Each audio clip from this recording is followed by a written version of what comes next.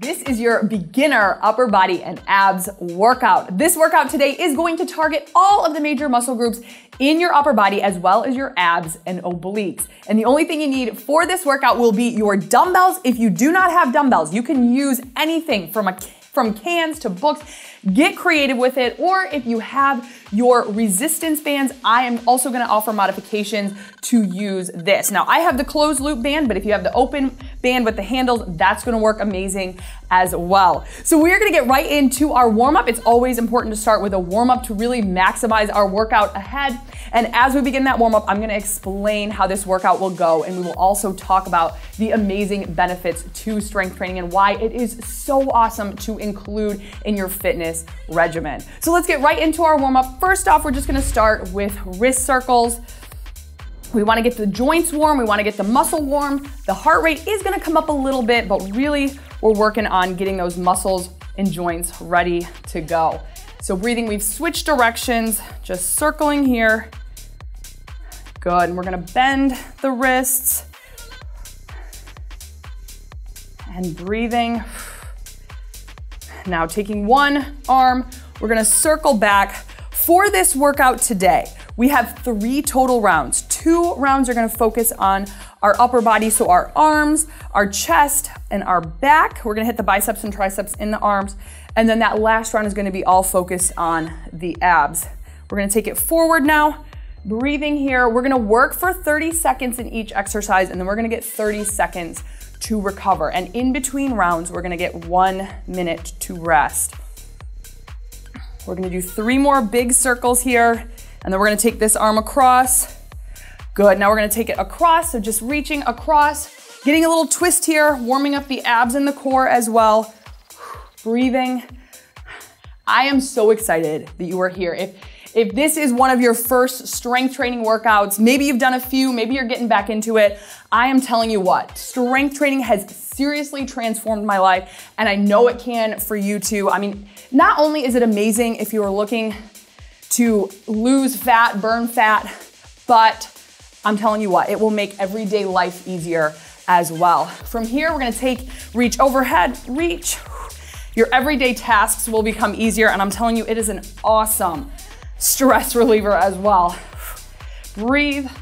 Three, two, and one. Other side now, we're gonna take and we're gonna do those arm circles back. So big circles back, breathing, really getting these shoulder joints warm. So for this exercise, we are gonna do each exercise two times through. But we're gonna work each muscle group and then for that second round, we're gonna go through it and repeat that round for the upper body. But the abs, we get one shot for each exercise. Two more, and we're gonna roll forward. Good. Now take it forward, big circles. Then we're gonna come across the body, breathing. Good. Now I am a form freak, okay? I have I have uh, I have uh, named myself that. So I am really going to remind you today about form because I find it so important to really maximize your workout. If your form is off, if you are not getting that full range of motion, let's take it across here. You're only going to be getting 70, 80% out of your workout. Whereas if you are focused on form, if you are focused on making that mind muscle connection, we're gonna maximize it and get 100% out of this workout. That is how important your time is. So we're gonna make the most of it. Breathing, good. Three, two, and one. Now we're gonna take it across and over. We're almost through this warm up and we're gonna get ready to go into our shoulder press first. That is our first exercise. Now with the weight you choose, I'm gonna challenge you to go heavy enough, but if you are beginning and you're really not even sure where to begin, start a little bit lighter, and then as you go through the exercises, you will be able to determine if you want to go up or down. We're gonna do two and one. Awesome. So shake it out. Now, in between that rest section, I'm gonna show you what the next exercise is that's coming up. Don't forget, there's gonna be modifications if you're using your band.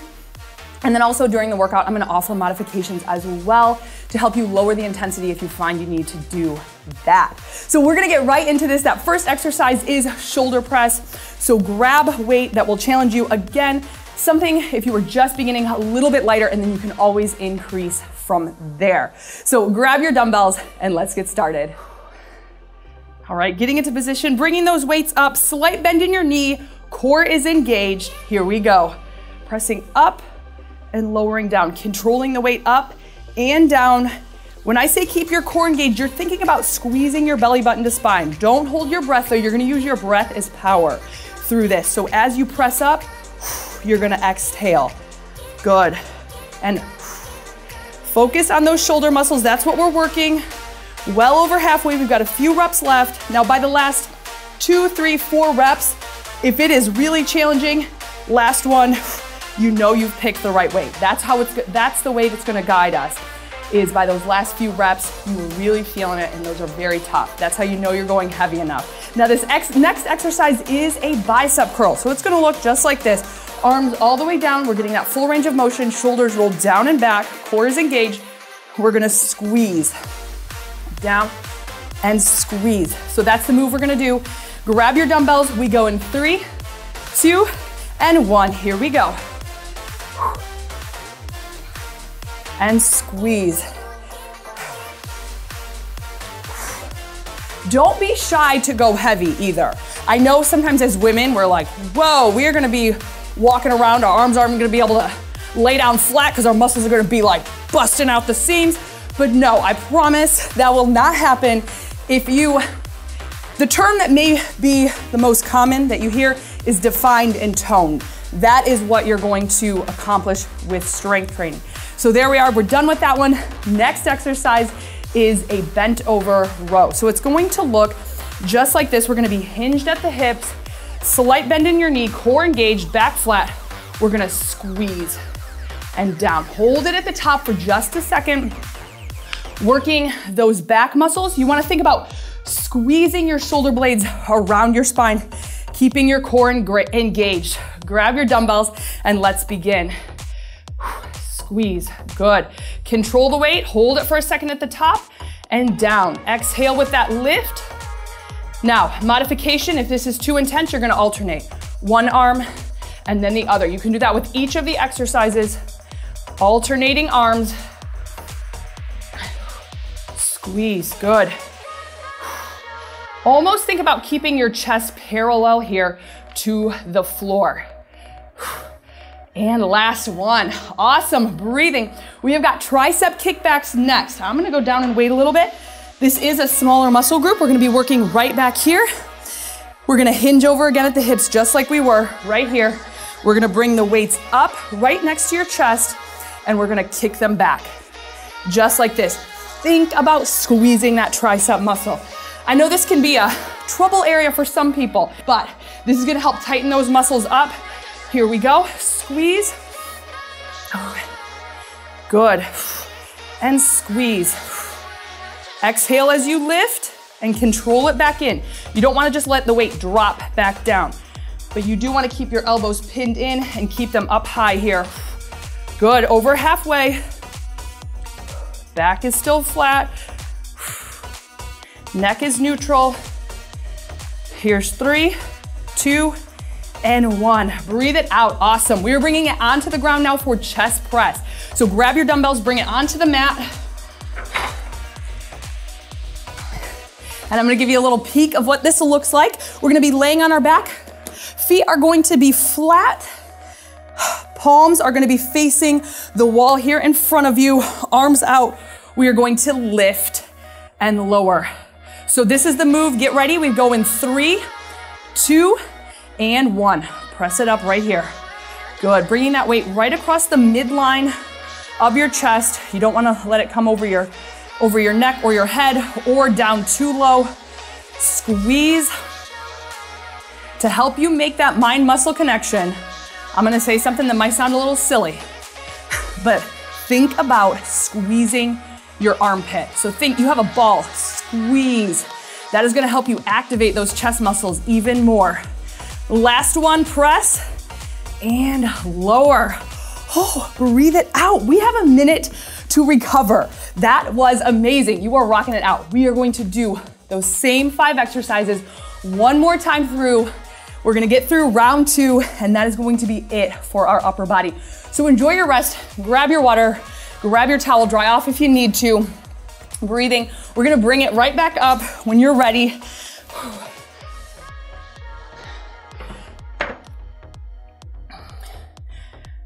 And I wanna just ask you for a second. Are you going heavy enough? Again, by the last two, three, four reps, those reps are very challenging. And by what, and by challenging, what I mean is it's very hard to get that full range of motion. You might feel that shake happening. It is tough. So that's what you wanna look for to know if you're going heavy enough or maybe even too heavy.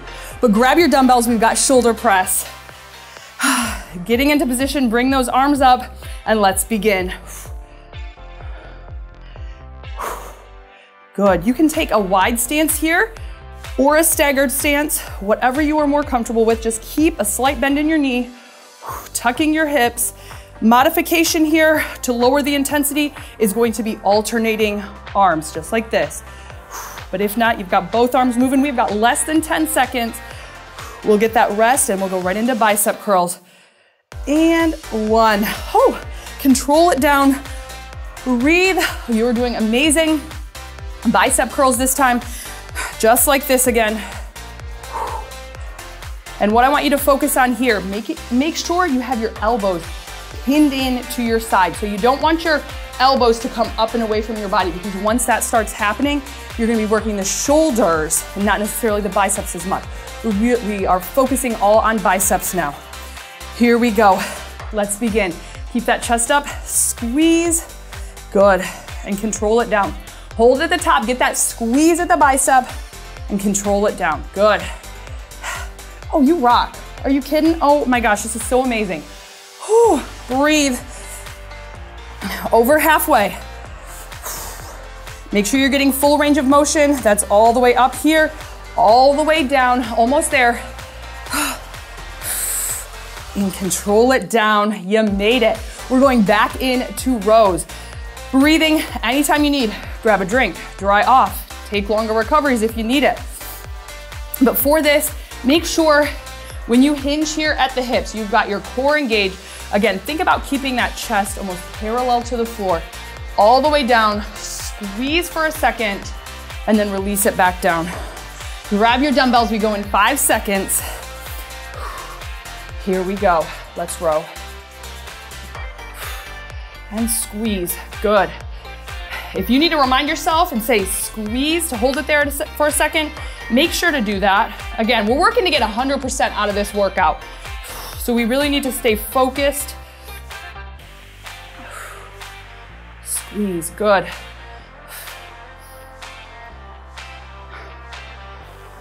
Couple more reps, you've got it. Last one. Amazing. Tricep kickbacks. All right, get a little warm, get a little toasty in here. Those tricep kickbacks are next. This, again, focus on, think about, make that mind muscle connection, thinking about the back of the arm as you extend. So the only thing that's moving here is that elbow joint. Only hinge we're getting. Grab your dumbbells, get into position, Back flat, core engaged. Let's begin. And squeeze, good. Don't swing the weights to get them up. You are using your muscle, you are controlling it. Good.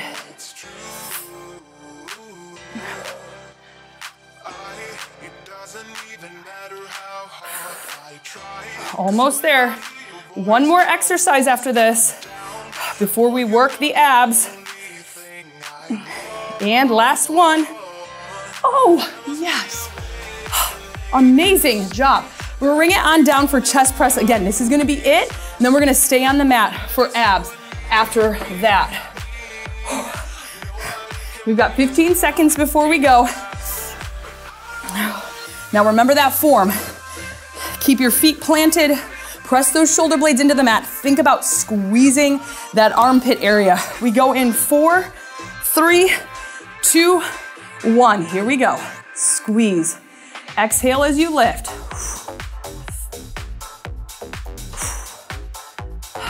Good.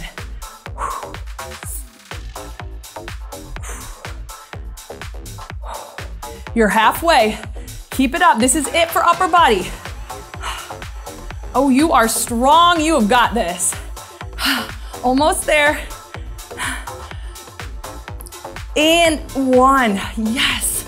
Set your weights down, set them off to the side. Now, working abs next. We're gonna flip it on over. We have one minute to recover, but I'm gonna show you some of the exercises uh, before we go, just so you will be ready. We're gonna do an extend and tuck. So we're gonna be on all fours. We're gonna work one side and then the other. We're gonna have opposite arm to opposite leg coming in. It's gonna look just like this. We're gonna extend, we're gonna tuck, squeeze, hold it, and out. Think about bringing that elbow right into your knee. Squeeze, contract the core, contract the abs as you pull in. We have 20 seconds, so that next exercise will be the opposite side. So then we'll bring opposite arm, squeeze. So we'll do 30 seconds one side, 30 seconds the other. No dumbbells, no equipment for this round. All focused here on the ground. Breathing. We go in five seconds. And let's begin. 30 seconds. Think about making a straight line here, extending all the way, tucking, squeezing, and out. Good. Squeeze. You've got your uh, shoulder, elbow, and wrist all in line. Here with this, squeeze. Good. And squeeze. One time through for abs, so make it count. Good. Almost there. And one. Whew. Press it back if you need to. Breathing. We're gonna go in about 20 seconds. to That other side, I need to dry off. Oh my. We're probably less than 20 minutes and we are, we are burning it up right now. We've got 10 seconds, so that opposite side that you worked, we're gonna go for that again. Same exercise, opposite side. Really think about that tuck. Let's extend and tuck. Here we go. Again, shoulder, elbow, wrist all in line and squeeze. Extend straight and tuck. Control it. We're not rushing through this move. I want you to feel it as you bring it in. Feel those abs start to contract. Tighten them up and extend. Good. Squeeze. Breathe. Good. Almost there. And one. Amazing. Breathe it out here.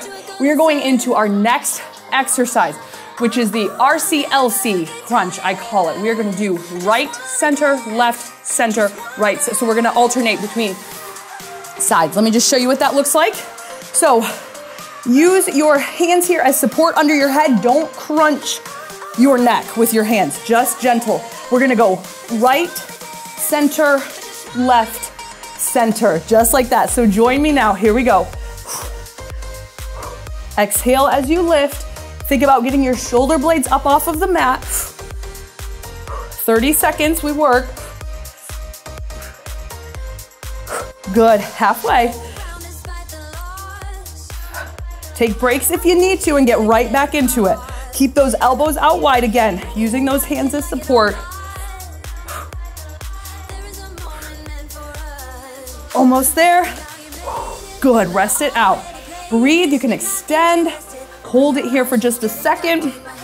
Next exercise we're gonna go into heel tap. So we're gonna bring those legs up to a 90 degree angle here. Head is down. You can keep your hands behind your head or right here next to your bum. we're gonna tap, tap the heels just like this. So bringing those heels down to the ground, alternating sides. Think about keeping your low back pressed into the floor. Let's begin. Tap it out. Good, and breathe. Good, press that low back into the, or yes, press your low back into the mat. Exhale as that leg taps the ground. Good. You can even put your hands on your abs. You can feel them working. Good, almost there. One, yes. You can tuck it in, you can extend it out. The next exercise we are going into is heel taps again, but this time the legs are gonna be down. We're gonna be working the obliques. Think about keeping those shoulder blades up off of the mat. Bring your feet to right where you can just barely touch your heels. And then we're gonna reach side to side here. We go in five seconds. Get those shoulder blades up. Three, two, one. Here we go. Side to side. Reach and reach. Good. Feel that side crunch. Feel those obliques engage. Exhale as you crunch and tap. Good. Halfway. This is it, by the way. You have made it. Good. Breathe.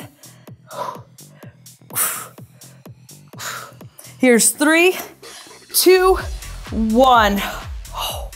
Oh my goodness. Extend it. You are the bomb.